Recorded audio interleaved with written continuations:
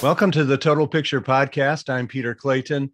Today, we're going to focus on immigration, specifically the Diversity Immigrant Visa Program, also known as the Green Card Lottery. The Immigration Act of 1990 established the current and permanent diversity visa program. And joining me today is Brian Fancher. He's the Vice President of I 9 Product Management and Chief Compliance Officer at Tracker, which was recently acquired by Mitratech. Brian, welcome to the Total Picture Podcast. Tell us a little bit about your background. Thanks, Peter. Thanks for having me on. Happy to join you today and talk about immigration. Um, you know, I got started in immigration right after completing my undergraduate degree. I was really interested in immigration law and immigration practices in the United States and was toying around with the idea of going to law school. And before that decision, I decided I'd go work for an immigration firm. Um, so I ended up doing some nonprofit work in immigration, uh, and then later got into the for-profit immigration business for, for business immigration processes decided not to go into law school, but ended up staying in that field. Um, and eventually uh, got involved in a law firm that had a proprietary immigration case management solution software. This was late 90s. Things were new in the technology space around immigration, and the firm I was working for was building their own platform.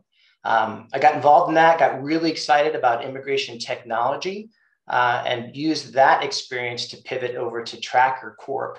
Uh, Tracker Corp uh, was a company recently acquired by Mitratech, as you mentioned, and Tracker had both the immigration case management platform, which is predominantly licensed by immigration attorneys or corporations that have large immigration teams. And Tracker also has the uh, a Form I-9 and E-Verify platform, which your audience, I'm sure, is familiar with the Form I-9. Uh, those were our two primary products. Uh, and that immigration background, that experience that I had uh, in, in, in the business, uh, you know, facilitated that, that transition to the technology space. So is Tracker operating as a separate company or are you now integrated within, I guess you pronounce it Mitratech? Right, yeah. uh, yes, uh, Tracker has been acquired by Mitratech and we are folded into and have integrated into the Mitratech organization. It is pronounced Mitratech.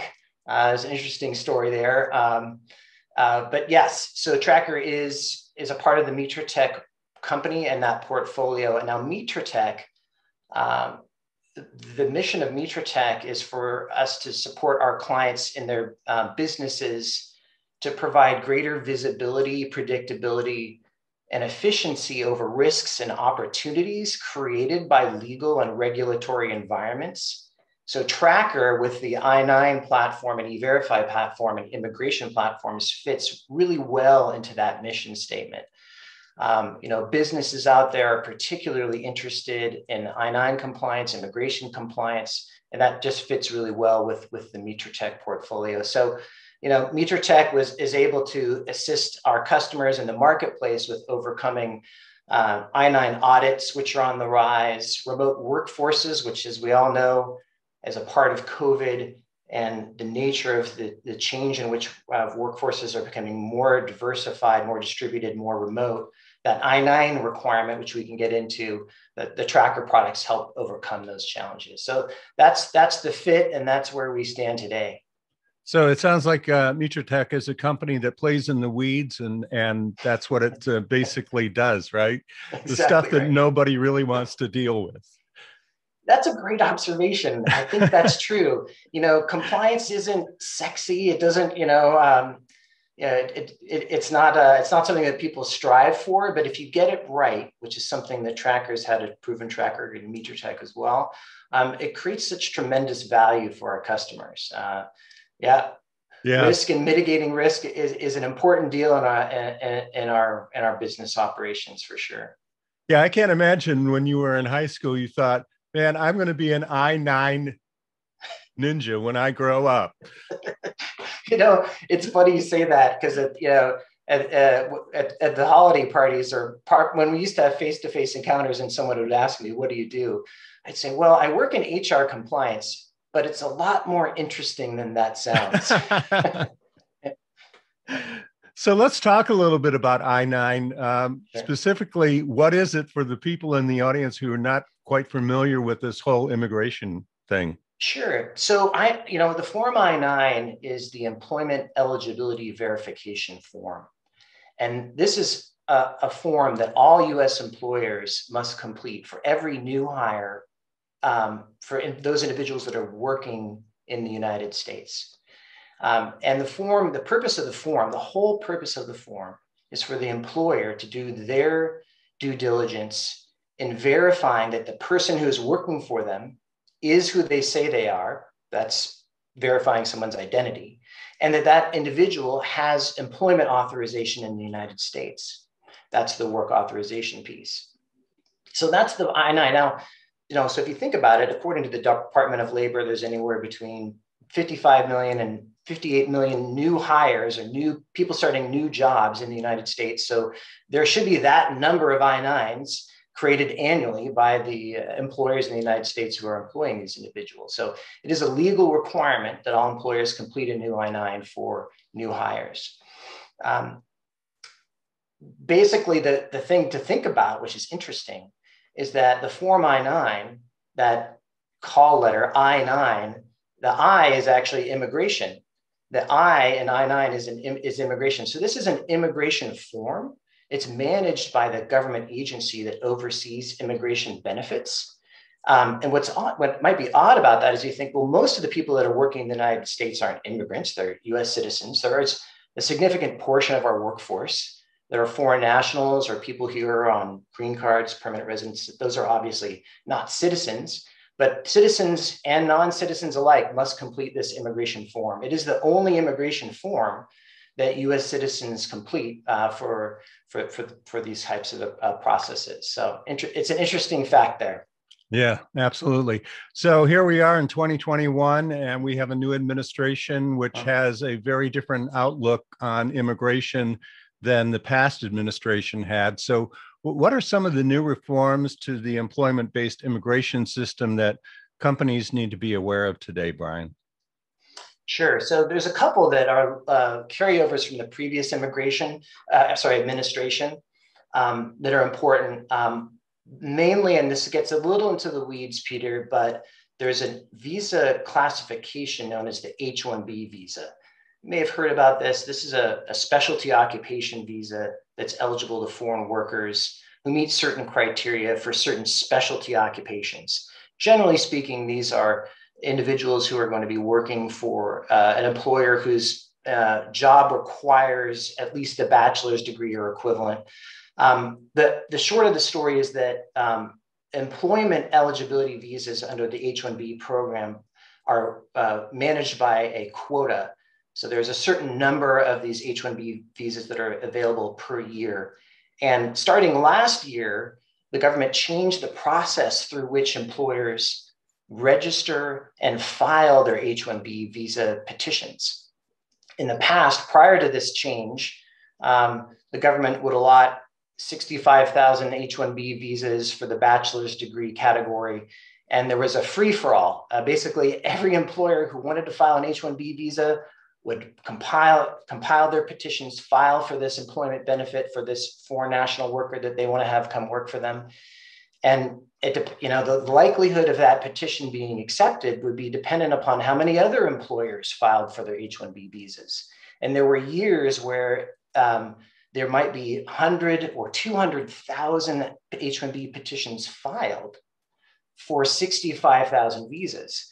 And what right. happened is, uh, you know, this influx of petitions would be filed. The government would have a process of selecting those, but selecting the, the winners. Um, um, and then they would send back the petitions to the employers for those that weren't selected.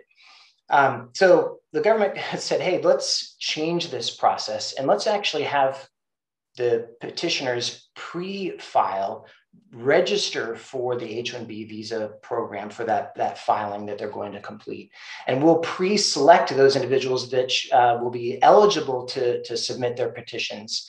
Um, and that was a big change. That meant that employers now need to uh, register in a government website, um, a, as a registrant for this process, and then wait for that selection process uh, to hopefully bear the good news that they would be eligible to file that petition. Uh, it did clean up the process in many ways, but also created some more complexity. That's an important step. Now, some people in your audience may not know what an H-1B visa, may never know, may never be a part of that process. But for companies that do participate in, in H-1B petition filings, this is a really big change. Well, I think most companies today do participate in H-1B mm. visas. Mm. You know, it used to be called the Silicon Valley.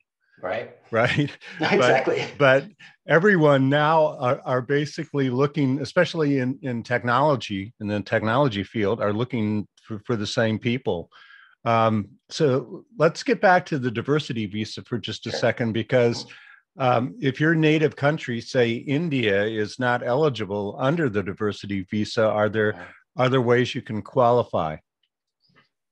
Well, so for the diversity visa, if you're, um, it's a very interesting program, right? Enacted in 1990. Um, the purpose of the diversity visa program was to as it's the name implies, help diversify um, the population of individuals who are immigrating to the United States by assisting folks who, who uh, whose origins are from countries that are underrepresented in the uh, US population. So because there are so many uh, Indian nationals that are immigrating to the United States um, uh, through other visa programs, uh, those individuals uh, don't qualify for the diversity visa program because there's enough India diversity coming from India. At least that's the thinking of how the program works. But you know, there are some exceptions. Um, so if I were born in India, which is typically the way that the visa program, diversity visa program works, it looks at country of birth. Um, that is the first criteria that's used to determine eligibility. If I'm born in India, I don't qualify because India isn't, uh, India isn't a country that's underrepresented per this program. But if my parents were born in a different country and that other country is underrepresented and could qualify for a diversity visa, then I may be eligible to apply. Um, there's some nuance here, so it's always important to get your facts straight and follow the uh, instructions. They're very clearly described on the Department of State website. Uh, but this is this is one potential workaround. There's also um, the, the idea, in addition to your parents, perhaps having a different country of birth than yourself, but also your spouse. So if I'm an Indian national, but I'm married to someone uh, you know, from Vietnam. Well, Vietnam does qualify for the diversity visa, so I could um, uh, be a beneficiary to my spouse's application as well. So, uh, what are the uh, educational requirements for the diversity visa? Yeah, so the ed- educational requirements um, there are there are educational requirements for the diversity visa qualifications. One is that uh, either you have a um, the equivalent of a high school diploma or two years of working experience um, um, in, in, the workforce that would would demonstrate uh, your your your, uh, your your your labor expertise, if you will. Um, so there are, the the requirements are minimal, uh, but there are some educational requirements to be aware of. So, what are some of the other issues that you're dealing with, Brian, with uh, within 2021 regarding immigration compliance? You had mentioned a few earlier, but uh, is there anything else that our audience should be specifically aware of, especially our audience who are in the recruiting and HR space? Yeah, sure. It's uh, it's a really interesting time, and I'll come back to the change in the administration. Um, as really a turning point, potential turning point for our immigration laws and regulations. So, you know, every every change in administration, there always seem that the conversation starts over again, where we talk start talking about comprehensive immigration reform. Um, if we think about immigration reform, um, there's really been uh, we're long overdue. Um, the last meaningful Immigration Reform Act was passed under the Reagan administration in 1986. And interestingly, uh, it was that bill that uh, created the Form I-9 that we talked about earlier. Right. Prior to 86, there was, there was no such thing as a Form I-9. Um, there were still laws that prohibited employers from employing individuals who weren't work authorized, but there was no document that employers were required to verify that they're not breaking the law. Um, but so, so if you think about it, Peter, we, we have a very complex process of US immigration, extremely complex. And um, there's been no meaningful, comprehensive change to this complex process in over 35 years. I mean, think about that. If you were running a business and you had a very complex process, but for 35 years you decided not to revisit it, examine it, find out how you could improve it.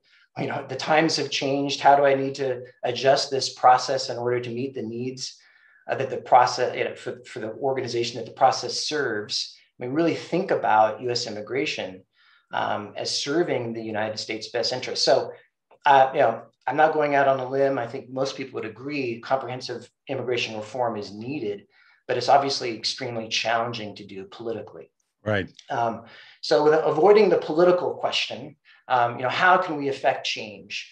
Um, and so the Biden administration came out with a comprehensive immigration reform bill. This happens almost with every new administration. It's a very comprehensive bill. It covers, you know, many different corners of the immigration space in terms of the uh, number of visa, uh, diversity visa lotteries. Uh, the program would be increased from 55,000 diversity visas to 80,000. That's one example. There are many other examples, too many to go through. It's a for almost a 400 page bill. We don't have time to cover that. Well, but, that one is just significant. I mean, the yeah. increase, right? I mean, it's almost yeah. like double.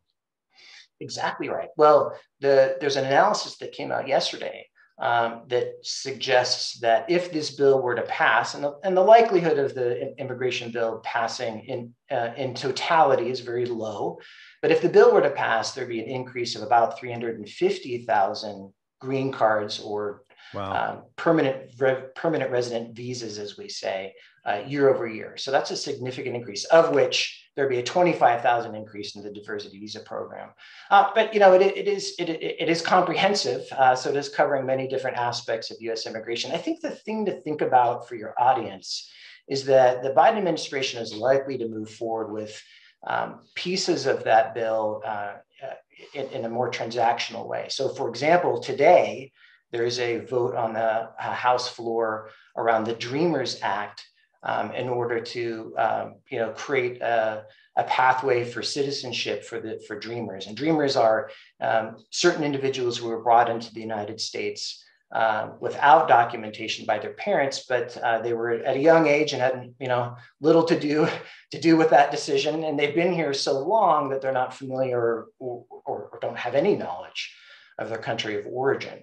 Um, so returning them, ha- having those individuals be returned to, to, to, their home country doesn't make a lot of sense. So um, there's a vote going on today on, on that, on just specific regulations that pertain to dreamers.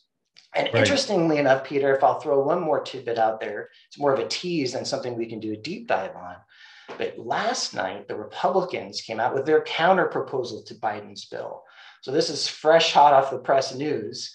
Uh, Biden came out with a 350 page bill, um, and the opposition party, the Republicans, have now come out with uh, an outline of their proposed bill. The bill hasn't been announced as uh, or published as of the time that we're recording this, uh, but they have they have put out a, a proposal. Uh, um, haven't had a time to do a deep dive on that analysis, but clearly we're seeing some movement politically. Um, for this, you know, to have this conversation. Um, ultimately, um, if the if there are certain aspects of the Biden bill or um, a counterproposed or negotiated compromised bill from from the from Republicans, there will be changes this year that will be meaningful to to HR uh, recruiters. Uh, just the whole HR space will be impacted. Right. Something to keep an eye out for. Yeah, and I think the Dreamers Act is certainly something that most people are very well aware of, and it it seems like there is uh, some momentum behind that at this point to actually, you know, grant these folks who, as you mentioned, have been in the country so long that they really don't even know what their home country really was. Um, that and you know they're, they're all working that's right. There was a study that was done by the Pew Research Center that showed that uh, it's like 97% of dreamers are employed. Um, right. That they had a they had a uh, like a buying power, an annual buying power of eight billion dollars in terms of you know how they're contributing to the economy. So very, you know, clearly integrated into the into the United States in terms of its workforce and economy in very meaningful ways. So, yep. Yeah. You, know, you had you had mentioned that the diversity visa program is a lottery. So yes. if you've applied, can you check your status? You can. It's one of those things where, you know, the government, as we know, is not apt at delivering software and technology solutions. So they're a little slow. so what happens is you apply for the diversity uh, lottery um, in October. That's when the, the that's when the opportunity opens for applications, right. and then that up, and then that uh, window closes in November, and then you you hear back in April.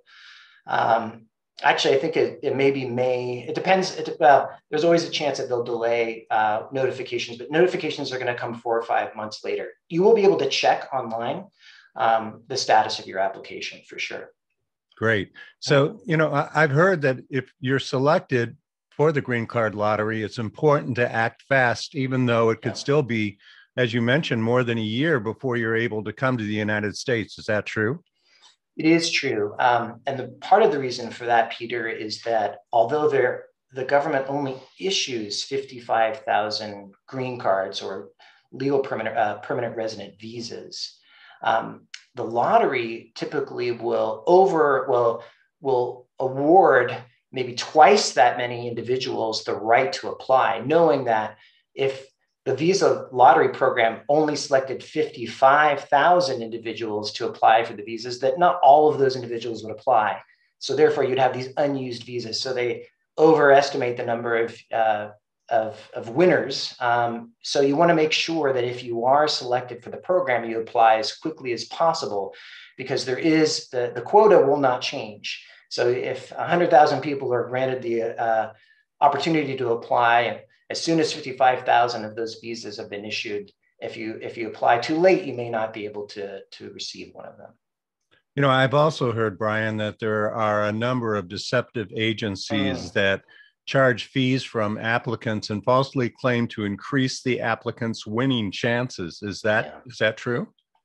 It is unfortunate and true uh, you know, in this day and age, um, you know, we really need to pay attention closely to the information that we're being told when it comes to immigration benefits. Um, there are a lot of bad actors out there um, that are trying to take advantage of a population that, quite honestly, feels vulnerable in many cases. Uh, you know, if you're not a U.S. citizen and you want to come to the United States, you're really you're eager to find out what advantages may be available to you, and you might be susceptible to some of these fraudsters out there. So right. it's really important to note that the Department of State is the only government is the only website where you can apply. So you can't apply on you know, mydiversityvisalottery.com. That's not a thing. Um, make sure that your, uh, you know, all of your interactions with the government regarding the visa program, uh, uh, those are transactions that are taking place in the Department of State worksite. Um, and you know, it is a, it, it is a true lottery. It's a random lottery. There's no way to increase your winning chances one way or the right. other. The only way to be selected is to apply through the Department of State website, and and and I hope you get lucky. Yeah, so, um, well, Brian, I really appreciate your time today. What what haven't I asked that it's important for uh, our audience to be aware of, especially when it comes to immigration laws? Sure. So, great question. Um, I appreciate it. The main thing I'd want to convey is that there's this there's this space where HR compliance and technology there's there's more and more of an overlap. Um, and that's really where the company I work for is focusing and interested. And in particular, we can think about um, remote hiring, remote workforces. As I mentioned earlier, you know, and, and the COVID pandemic is a perfect example of how employment practices, onboarding practices are, are changing in light of more remote working employees. Um, so as uh, and this was uh, you know remote workforces the trends for in, an increase in remote workforces was happening pre-COVID. COVID has just added gasoline to the fire, right, if you will, right. in terms of how you know what percentage of employees are working remotely. So the remoteness of an employee introduces um, some great benefits And it also introduces some new risks that employers might not be thinking about, particularly around that I 9 compliance, e verify compliance, and, and other immigration compliance uh, factors to consider. The main one is when you complete the Form I 9, um, that form that we talked about at the start of the show, where the employer is verifying the individual's identity and employment authorization, there is a requirement that you meet face to face with the employee to inspect their employment authorization and identity documents mm-hmm. um, in the presence of the employee. Well, that physical presence is actually, that rule has been suspended in light of COVID. Um, so right now you can inspect documents remotely, meaning via Zoom or via email, although we don't recommend sending pictures of documents via email, not very secure. Uh, but at some point this year, it is highly likely that the government will rescind those policies. So if your audience members are familiar with I9 and are taking advantage of that remote document inspection policy, be aware that that policy will likely end um, and we'll go back to the requirement of that physical face-to-face inspection. And, you know, that'll be dependent upon, um, you know, the, the course of the pandemic and how things unfold and as we reopen and get back to normal, whatever right. that new normal will look like. It's just something very important for employers to think about. Mm. Great. I appreciate that. Um, so, one last thing, Brian, how can folks connect with you? What's the best way uh, to hook up? Sure. Well, you can uh, please go to uh, you know mitratech.com. Um, you'll find a whole bunch of information about uh, about our organization and particularly about the product offerings that I mentioned around immigration compliance and I-9. So you can find out a wealth of information there and you'll be able to get in touch with us. Great. Thank you. Thank you again. And it's really been nice to have an opportunity to speak to you today. Great speaking with you, Peter. Thank you so much. Thank you. Please hang on for just a minute. Like most of you, my business was completely upended by COVID 19. Instead of filming marketing, sales, testimonial, and product demo videos at conferences and corporate offices, I'm living on Zoom. Zoom can be an effective video tool for many kinds of powerful content. As people have become more comfortable being on camera and upgrading their video streaming capabilities, we are now able to create high quality, entertaining, and informative videos using the Zoom platform virtual meetings, customer testimonials, product demos, marketing pitches. You'll be amazed at the video quality and the amount of sophistication and graphic complexity we're able to create.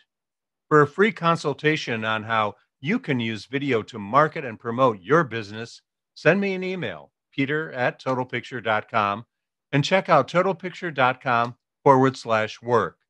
I look forward to hearing from you, and thanks for tuning in.